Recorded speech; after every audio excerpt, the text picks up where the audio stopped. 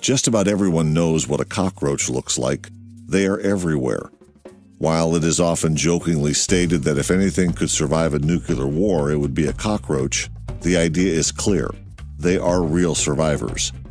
Once there is a cockroach infestation, it can be very hard to get rid of them. Cockroaches multiply very quickly and they also adapt quickly too. It is important to contact a pest control agency quickly if you see them in your home or business.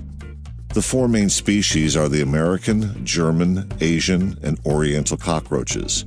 These vary in size from about a half an inch German up to two inches American. In America, the species that is most common in homes would most likely be the German variety.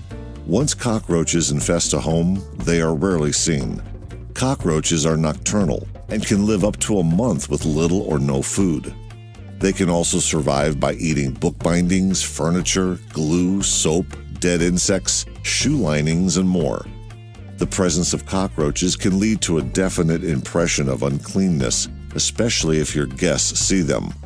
Contrary to popular belief, a cockroach infestation is not necessarily an indication of poor hygiene. However, an untidy environment will make it all the more difficult to get rid of them. The presence of cockroaches can also lead to health problems, including asthma in children. If you spot a cockroach at home or work, there are likely more of them concealed nearby. Got pests? Call Toro Pest Management today for a free estimate. 1 877 Ask Toro or visit us online at www.toropest.com. Toro Pest Management, a company you know and trust, your local expert since 1969.